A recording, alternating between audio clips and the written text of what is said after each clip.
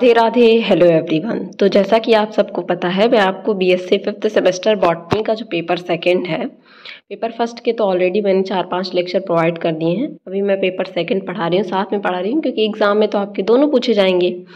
तो इसमें मैं आपको history of DNA historical perspective जिसमें आपको मिसर से लेके वॉट्सन एंड क्रिक तक पढ़ना है। इसमें आज हम पढ़ेंगे एफिक ग्रिफ्ट एंड एवरी का एक्सपेरिमेंट, ट्रांसफॉर्मेशन एक्सपेरिमेंट, जो आपके सिलेबस में दिया हुआ है इसी नाम से। कि आपको इनका एक्सपेरिमेंट पढ़ना है। लेकिन उससे पहले, इसके पहले हम लोगों ने और इसके जो हिस्टोरिकल पर्सपेक्टिव थे उसके बारे में पढ़ा था। और मैंने कहा था, ये एक्सपेरिमेंट, ये और बैक्टीरियोफाज का एक्सपेरिमेंट मैं आपको अलग अलग पढ़ाऊँगी ताकि आपको एक अलग लेक्चर में मिल सके ताकि आपको अच्छे से समझ में आए। लेकिन उससे पहले अगर चैनल पे आप नए हैं तो प्लीज़ चैनल को लाइक शेयर सब्सक्राइब कीजिए। और अगर इन नोट्स की अगर आपको पीडीएफ चाहिए तो उसके लिए हमारा टेलीग्राम चैनल ज्वाइन कीजिए। और आपको कोई भी क्वेरी या प्रॉब्लम होती है तो उसके लिए कमेंट सेक्शन में आप ज़रूर बताइए, ताकि हम जो है, उसको सॉल्व कर सकें। तो चलिए जानते हैं, ये दो साइंटिस्ट थे। कौन? ग्रिफ्थ और एवरी, ठीक है? इन्होंने एक एक्सपेरिमेंट किया ट्रांसफॉर्मेशन का मतलब किसी चीज़ को ट्रांसफॉर्म किया एक से दूसरे में, ठीक है? ट्रांसफॉर्मेशन का मतलब क्या होता है? किसी चीज़ को एक चीज़ से दूसरे चीज़ में ट्रांसफॉर्म करना क्या कहलाता है? ट्रांसफॉर्मेशन कहलाता है। तो इसी को ग्रिफ्थ एंड एवरी का ट्रांसफॉर्मिंग प्रिंसिपल भी किया, कहा जाता है। अब इस एक्सपेरिमेंट में इन्होंने क्या किया था? एक बैक्टीरिया था, जिसको कहते हैं स्ट्रेप्टोकोकस न्यूमोनी ठीक है? उन्होंने जेनेटिक मटेरियल की डिस्कवरी में इसके पहले अभी तक आपने पढ़ा कि मेंडल ने फैक्टर कहा, बाकी और साइंटिस्ट ने किसी ने न्यूक्लिन कहा, किसी ने न्यूक्लिक एसिड कहा, ठीक है? लेकिन इन्होंने क्या किया? गिफ्ट एक्सपेरिमेंट नेक्स्ट स्टेप था डिस्कवरी का, जिसमें जेनेटिक मटेरियल को किसमें देखा गया? स्ट्रेप्टोकोकस न्यूमोनी एक बैक्टीरिया था उसमें। इन लोगों ने क्या किया? अपने एक्सपेरिमेंट के दौरान ड्यूरिंग द एक्सपेरिमेंट ग्रिफ्ट और एवरी ने इस बैक्टीरिया को, यानी कि स्ट्रेप्टोकोकस न्यूमोनी बैक्टीरिया को क्या किया? कल्चर किया या जिसको आप कह सकते हैं, प्रिपेयर किया कहाँ पे? लैब में, ठीक है? इसको लैब में कल्चर किया। विथ सोड टू पैटर्न ऑफ़ ग्रोथ, जिसमें इस बैक्टीरिया ने दो पैटर्न शो किया ग्रोथ का, ठीक है?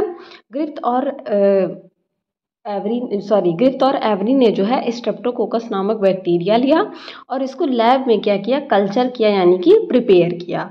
और उस बैक्टीरिया को प्रिपेयर करने के बाद पता चला कि वो बैक्टीरिया दो तरह का कैरेक्टर शो करता है, ठीक है? एक प्लेट में उन्होंने क्या किया? पहले वाले बैक्टीरिया को लिया जो पहला कैरेक्टर शो कर रहा था तो वो कैसा कैरेक्टर शो कर रहा था? स्मूथ और उसकी कॉलोनी जो थी इस तरीके से थी। स्मूथ थी और कैसी थी? साइनी थी, ठीक है? स्मूथ और साइनी थी तो उसे नाम दिया गया एस्थर्ड, ठीक? उसकी नेमिंग की गई एस्थर्ड। स्मूथ से इन्होंने एस लिया और थर्ड उसका नाम किया एस थर्ड और थर्ड और भी कुछ उन्होंने देखा होगा। तो उसके बेसिस पे इन्होंने नाम दिया उसका एस थर्ड और जो दूसरा बैक्टीरिया इन्होंने कल्चर किया, उसकी कॉलोनी कैसी थी? उसकी कॉलोनी रफ थी, ठीक है? कैसी कॉलोनी थी? रफ कॉलोनी रफ कॉलोनी थी, जिसकी वजह से दूसरा बैक्टीरिया इन्होंने कल्चर किया, उसकी कॉलोनी रफ थी, जिसकी वजह से इन्होंने नाम दिया उसको आर आर सेकेंड ठीक है? अब इनको दो तरीके के बैक्टीरिया मिल गए। अब इनमें जो ये डिफरेंस था स्मूथ कॉलोनी और रफ कॉलोनी ये डिफरेंस क्यों था? Due to presence of mucus coat on S strain S strain जो था, उसके ऊपर म्यूकस की एक कोट प्रेजेंट थी, ठीक है? जबकि आर स्ट्रेन जो था, उसमें वही चीज़ एबसेंट थी, ठीक है? अब इन्होंने एक्सपेरिमेंट क्या किया? मैं इसको डायग्राम से समझाती हूँ, ठीक है? यहाँ आप देख सकते हैं डायग्राम में।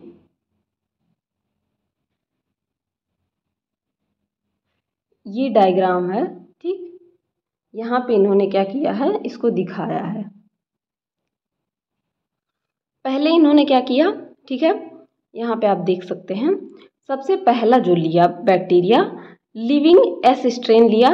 और एक बात समझ लीजिए, जो यस स्ट्रेन था, ठीक है? वो वायरुलेंट था। वायरुलेंट का मतलब होता है बायोलॉजी में जो डिज़ीज़ कॉज करता ठीक है? वायरुलेंट था डिज़ीज़ कॉजिंग था, जबकि जो आर स्ट्रेन था, वो क्या था? नॉन वायरुलेंट था, ठीक है? नॉन वायरुलेंट यानी कि डिज़ीज़ नहीं कॉज कर रहा था, ठीक? एस स्ट्रेन स्मूथ था उसको एस थर्ड नाम दिया गया और वो वायरुलेंट था और उस पर म्यूकस की कोट थी। ये सारे कैरेक्टर हो गए आपके एस स्ट्रेन के। आर स्ट्रेन नॉन वायरुलेंट था, उस पर म्यूकस की कोट नहीं थी और वो डिज़ीज़ नहीं कॉज कर रहा था। तो जब पहले इन्होंने एक लिविंग एस स्ट्रेन को लिया और उसको एक माइस में इंजेक्ट किया, ठीक है? ये माउस ले लिया, उसमें इंजेक्ट किया। तो इनका रिज़ल्ट क्या निकला कि माउस मर गया, ठीक है? अब उसमें कुछ तो ऐसा था जिसकी वजह से क्या हुआ? माउस मर गया। दूसरा इन्होंने क्या किया? एक लिविंग आर स्ट्रेन लिया, जो कि नॉन वायरुलेंट था, और उसको एक माउस में इंजेक्ट किया, सुई लगाई, ठीक है? और माउस क्या था? ज़िंदा था, क्योंकि उसमें एस स्ट्रेन नहीं था। मतलब कुछ ना कुछ एस स्ट्रेन में ऐसा मटेरियल प्रेजेंट था, जिसकी वजह से जो है माउस मर गया पहली बार में। दूसरी बार में फिर इन्होंने एस स्ट्रेन लिया, लेकिन उसको हीट कर दिया, यानी कि उसको उबाल दिया, जिसकी वजह से जो उसकी म्यूकस की लेयर थी ऊपर की वो ख़त्म हो गई हीट होने की वजह से। तो उसकी वजह से फिर से माउस ज़िंदा हो गया। दूसरी बार इन्होंने क्या किया? लिविंग आर स्ट्रेन लिया, ठीक है? आर स्ट्रेन लिविंग लिया, ठीक? ज़िंदा था आर स्ट्रेन जो बैक्टीरिया था। और डेड एस स्ट्रेन लिया, इस एस स्ट्रेन का डेड पार्ट लिया। और जब इन दोनों को मिक्स करके माउस में डाला तो माउस क्या हुआ? मर गया, ठीक है? अब इसका मतलब जो कुछ भी था, वो क्या था? एस स्ट्रेन में ऐसा कुछ तो था जिसकी वजह से माउस मर जा रहा था। आर स्ट्रेन को अलग डाला तो माउस को कुछ नहीं हुआ। एस स्ट्रेन को हीट किल करके डाला मतलब उसको एकदम जला दिया। तो मतलब उसके सारे मटेरियल मर गए तो भी कुछ नहीं हुआ। लेकिन जब लिविंग आर स्ट्रेन और डेड एस स्ट्रेन को हीट किल्ड नहीं किया डेड था, उसको माउस में डाला तो माउस क्या हुआ? मर गया। तो यहाँ पे एक्सपेरिमेंट क्या था गिफ्ट और इनका कि both S R and strain Griffith injected मैंने जैसा कि बताया इंजेक्ट किया both R and S strain the one which was infected with S strain well developed pneumonia and died while that infected with R strain stayed live यही बात मैंने आपको समझाई कि जब इन्होंने जिसमें न्यूमोनिया कॉज था, ठीक है एस स्ट्रेन में, जो एस स्ट्रेन था, जब उससे इन्होंने इन्फेक्ट कराया तो क्या हुआ? माउस मर गया, जबकि आर स्ट्रेन वाला ज़िंदा था।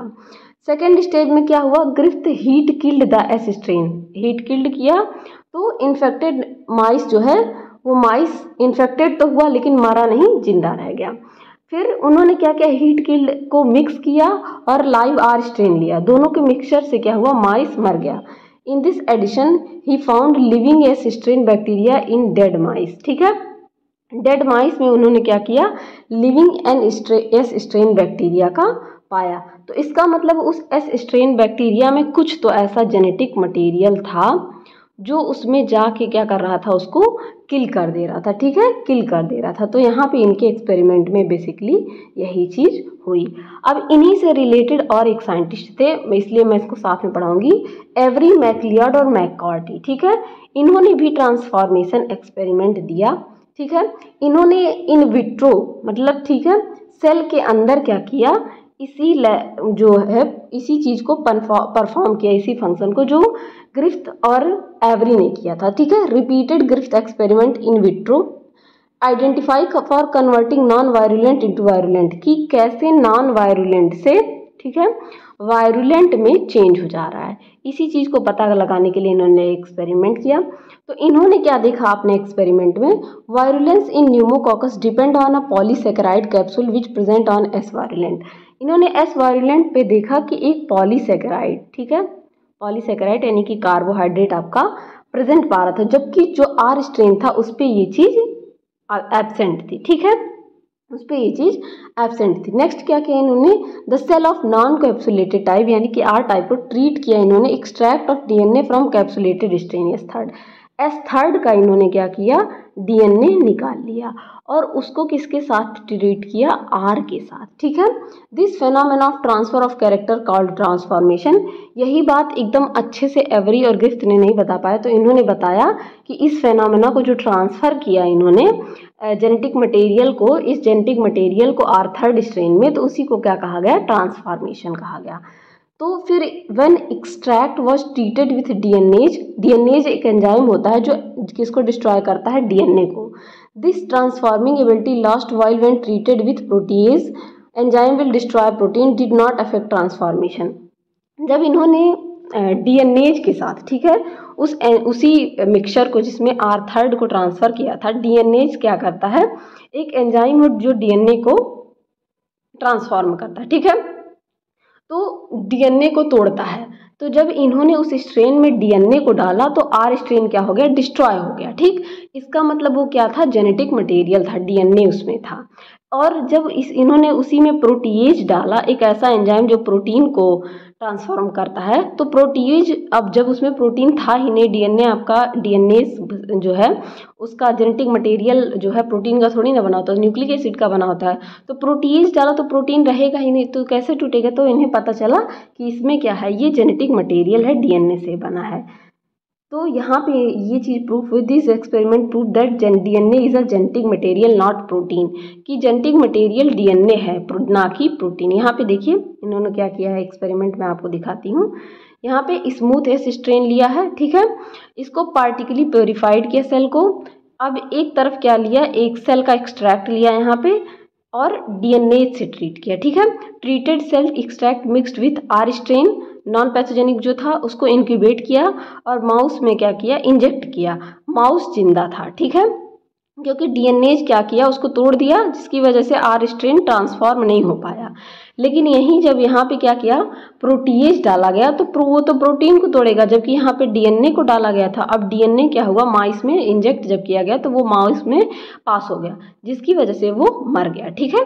तो यहाँ से ये पता चलता है कि डीएनए जो है जेनेटिक मटेरियल है, ना कि प्रोटीन तो आज के लेक्चर में बस हम इतना ही पढ़ेंगे। अब नेक्स्ट लेक्चर में हम पढ़ेंगे हार्से एंड चेज का एक्सपेरिमेंट बैक्टीरियोफाज पे। ये भी आपके लिए बहुत ज़रूरी है, आपके सिलेबस में है। आज के लिए इतना ही बस। नमस्ते, राधे राधे।